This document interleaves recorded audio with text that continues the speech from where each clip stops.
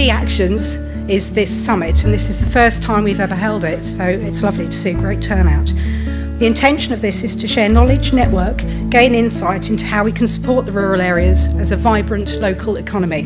We have six speakers today, and all of them are local, inspirational subject matter experts who have been invited to cover priority issues from within the strategy.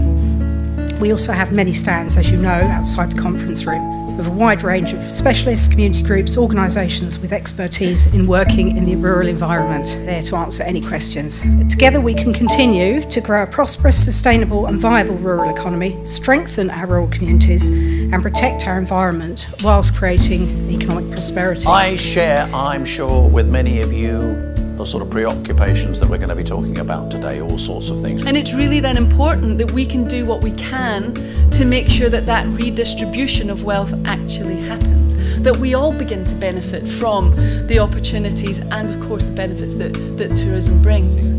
So it's managed and run by the community for the community. And we're completely independent of other utility providers. So, so 70 to 80% of those pubs are in rural locations.